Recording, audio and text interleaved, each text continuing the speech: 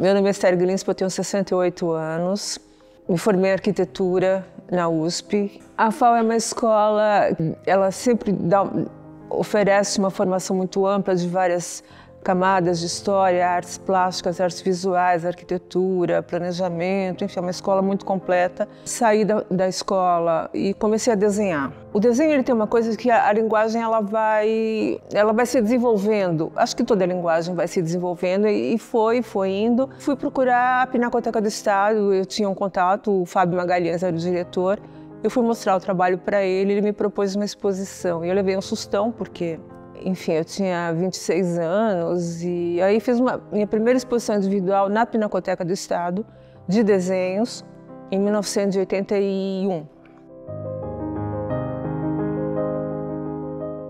Aí fiz exposição na Funarte no Rio de Janeiro, fiz exposição em São Paulo, fiz exposição no MAC, é, USP, e aí eu fui convidada para a Bienal de São Paulo em 89, depois de algumas exposições individuais e coletivas.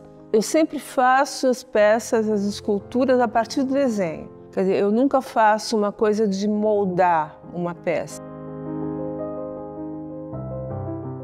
Esse projeto da casa, por exemplo, quando o Cláudio me convidou, eu ficava fascinada com a, com, a, com a situação de um lugar na frente de uma mata, que é isso, né? Que é o parque, um deck na frente de uma mata. A cadeira é uma coisa muito muito simbólica e muito paradigmática nas artes plásticas, desde a cadeira do Van Gogh até a cadeira do Bruce Nauman, até a cadeira do, do, do que é uma cadeira conceitual. E eu vinha fazendo uns desenhos chamado A Cena. E eu falei, bom, então é, então vai ser a cena, a pessoa vai se sentar e através do arco ela vai olhar para a mata. A pessoa que se senta numa situação urbana, de frente de uma mata, e senta e, e, e vê a mata. O sentar e olhar assim, é uma coisa da contemplação, porque o meu trabalho ele é muito silencioso em geral. Ele não é um trabalho de grandes efeitos, ele não é um trabalho de grandes cores, ele é um trabalho muito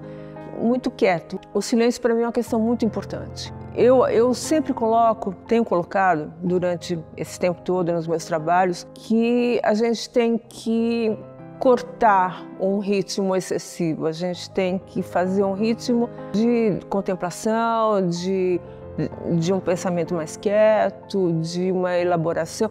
Tem muita imagem, é meio lugar comum isso, mas tem muita imagem no mundo, tem um excesso, de imagem no mundo, tem um excesso de barulho no mundo.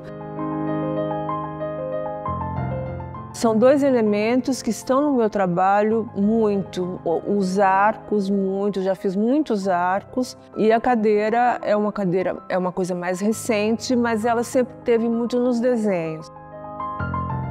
quando você está em repouso, teu corpo está em repouso, você pode fazer mil coisas, né? Em geral, você, você senta e, e para olhar, você senta para escrever, você senta para pensar, que são atividades de não de exercício físico de, de marcha, né?